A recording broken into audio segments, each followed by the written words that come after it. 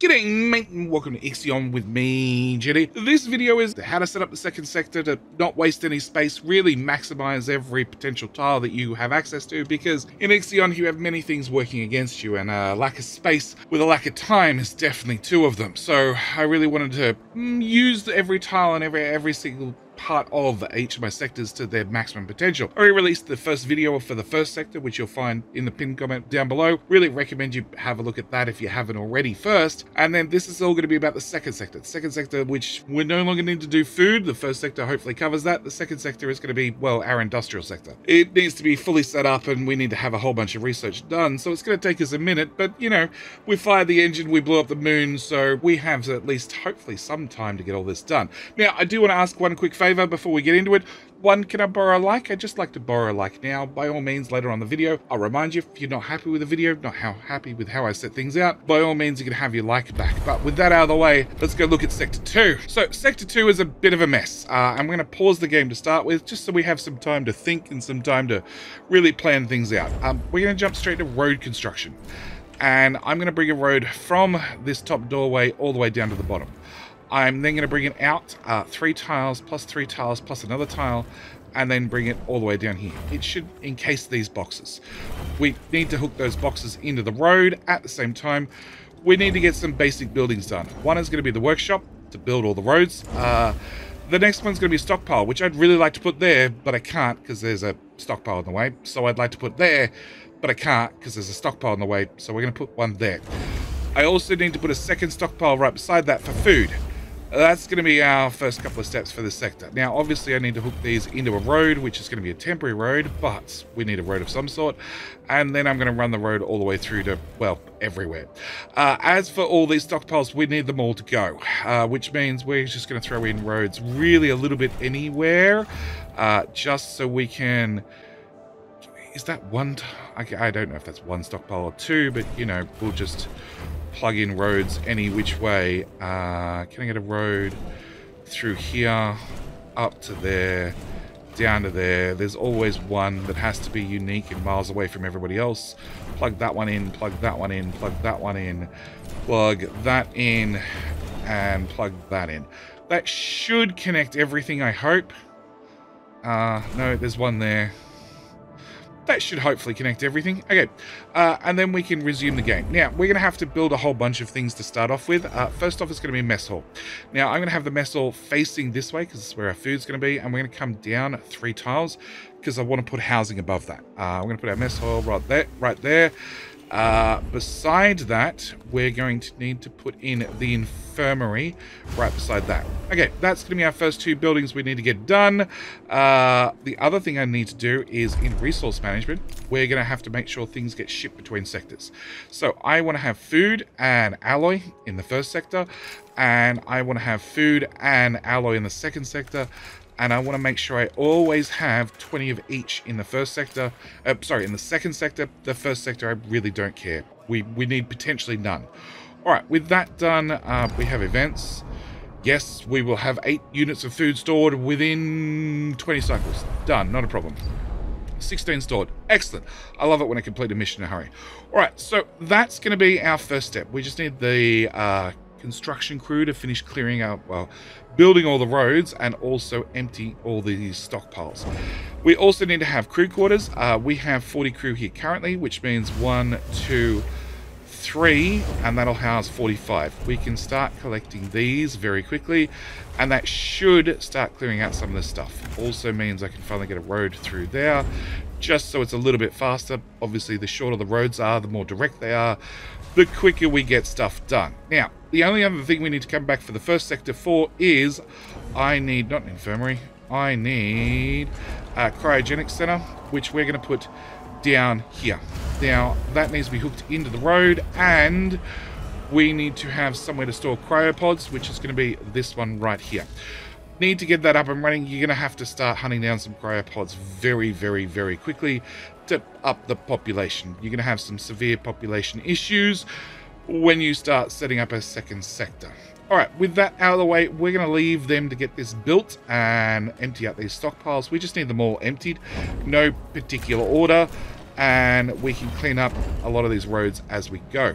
So now we've got a, a, little bit of room cleared up. You may notice that the hull integrity is going down, and even with you uh, trying your very, very best to repair it, well, it becomes quite awkward to do. I'm lucky that we're so damaged that we're actually very, very good at repairing it currently, but as it's more repaired, it becomes slower to repair and therefore harder to repair, and therefore the hull integrity goes down, and therefore the people get unhappy. We like high trust. So, uh, what I want to do in this very sector is I want to go into space and I want to put in EVA airlock right here. Uh, at the same time, we can now remove this bit of road, and right beside it, I want to put a docking bay. We're going to be using both of these in this sector uh, to, well, one to repair the hull, the other one to transport raw materials in. And then once we have the raw materials in, we're then going to, well, manufacture everything in this sector. So we're actually going to have all the ships dock here rather than docking in the first sector and then transport the materials across. We're just going to short circuit that by just having them bring it in here directly. Uh, at the same time, we want to clear off all of these and we're going to have to have a couple more storages. So we're going to go into maintenance uh, stockpile. We're going to throw a stockpile here. Uh, and that'll be for the five microchips. Also, well, let's put one right beside it because we're going to need one for polymer as well. Uh, another thing you're going to have to keep eye on is population. Population is going to be a drag for a little while, so you're going to have to make sure that you get the cryopod up and running. Also, batteries, we can put some batteries in the first sector and also in the second sector right here. Um, three? Three, three will do us to start with. Okay, uh, now we need to just wait for them to get this built and then they can get towards uh, repairing the hull, along with get this one built, and then we can get some ships in here. So now we have our docking bay up and running. First thing actually we want to do is we're going to go to the old docking bay and we want to unassign our cargo vessel. We're going to build two mining ships right here and we're going to come to this one and we're going to make sure we're going to assign our uh, transport vessel. We're also going to attempt to build a second one probably even a third one. But to do that, we're going to have to get polymer into this sector, which means I need to have one of these up and running, which we're going to set for polymer. And we're going to make sure that we ship into sector 2, uh, 30 polymer. And out of sector 1, well, polymer. Uh, actually, it's 20. Okay, we're going to ship in 20. So with that done, we're going to turn that off and you've got your delivery perfect uh, we're to set that to zero and we're to set that to max and therefore that'll ship back out and we're to have uh, injuries okay with the polymer sorted uh, we're now going to go into iron iron. We're going to start having iron in here because we're going to be building our very first factory. It's going to be the steel mill, which is going to slide in right here. So this is going to require some of the microchips we have here, plus a whole bunch of alloy, which we're going to have to get uh, situated from both of the colonies. We're going to set you to zero. We're going to set you to max and make sure all the alloy gets shipped over here. At the same time, we're going to set you to no electronics and you to max electronics so I can get electronics shipped out. We're also going to make sure our mining ships are going to go off and grab any iron ore. And we're going to set up our second ship. Uh, lower priority, lower priority. And we definitely need to make sure that we probe some iron ore, which is preferably nice and close. Let's go with right, that one right there. Alright, with our very first steel mill up and running, it's going to turn 15 uh, iron into 15 steel per, sec uh, per, per, per cycle.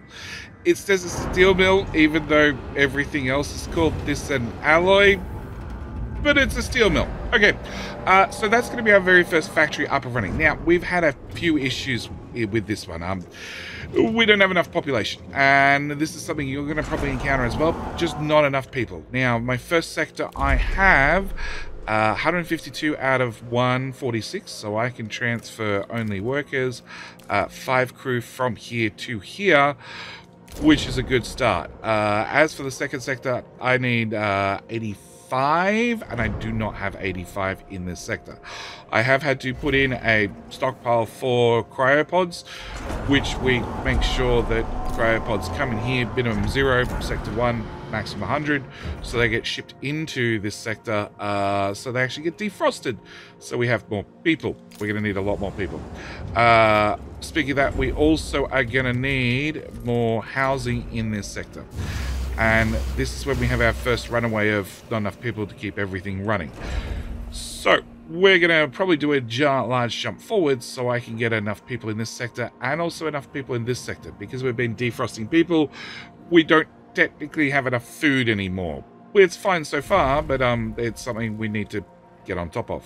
As you've been slowly defrosting people and, and moving them into the sector, hopefully it's time for a second steel mill because one steel mill is definitely not enough to keep up. Also, occasionally they have this waste cycle where for one to two cycles they just do nothing, which is a bit of an issue because most of the steel you're actually getting you're spending either on small upgrades or on, well, replacing and repairing the hull continuously. Um, yeah, it's the hull's expensive, very expensive. So definitely time for a second steel mill. Hopefully you have the population to support it. If not, um, defrost people faster. Alright, now we've got everything hopefully stable enough that uh, hopefully we can bring in some more people. Uh, it's time to unlock the next factory. We were in a debate whether we want the electronics or the polymer factory, but as uh, polymer is required to launch probes to find new materials, uh, polymer wins out. So we're going to put a polymer factory uh, right beside our uh, docking bay, and again, we just need to hook in some roads around the edge of that it is going to require us to make sure we have a microchip in here once again. So uh, turn you on. Microchip resources. I want electronics. Just one shipped into the sector, please. And sector one needs zero in stock. And, well, that's a bit more than one. Sure. It's a lot more than one. But sure. Cool. Alright built. Now, with our polymer factory up and running, the last thing we need to get done is going to be the electronics factory, which we're going to slot in right here. Now, there's a couple of other things I want to do uh, in this sector before we end the video. Uh, we're going to want to put in a second infirmary right here with just a single little one road piece there to make sure that this house and, and this infirmary are both connected. At the same time, um, houses, we're, we're going to need more housing. Uh, a lot more housing uh, because, well, we're using uh, 30 workers, 60 workers, 90 workers, 115 workers, plus another, what, 30, 20 here, plus the other infirmaries and the other transports and all that sort of stuff. Speaking of transports, we will also need another uh, storage in up here.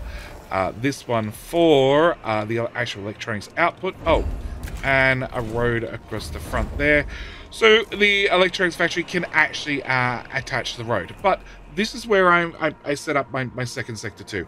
The rest of the sector I fill out with, well, mm, housing, housing, uh, along with other things that we unlock further in the game. Um, after we've left this sector, after we've, well, after we've left this section of space, after we've moved on from here, there are other technology that we access further into the tech tree that I don't really want to have spoilers about. That seems very bad. Uh, cool. Uh, I can't wait to get the auto repair research. Yes, with the two uh, steel mills, we should have plenty of steel to keep things running. One thing I do really recommend is you set up yet another cargo ship. Uh, this particular sector will burn through material fairly quickly. Consequently, you're going to need a couple of ships out grabbing resources. As you can see, I have, well, some carbon. I haven't got any silicon yet because I haven't gone looking, but I do have a lot of iron available to be collected, to be brought back, to be smelted, to make sure we have enough alloy that we can keep building. Our biggest limitation currently is mainly population. Um, we have not enough workers in the first sector and not nearly enough workers in the second sector, and I just added another 20, 30 jobs to the sector. Yep, uh, but this is where I'm going to leave this particular video. Uh, I do hope you guys have found it helpful, uh, at least in trying to set up your first two sectors. There'll probably be a follow-on video for the third sector, because the third sector is when things change a little bit. We need to diversify a little bit. Uh, at the same time, remember that like that I asked whether I could borrow before? Can I keep it? I'd very, very much appreciate it if I could keep it. It would very, very much help out the channel. But with all that said, this is where I'm going to end this particular video. Thank you guys so much for watching. Do hope you've enjoyed. I'll see you guys in the very next video. Bye.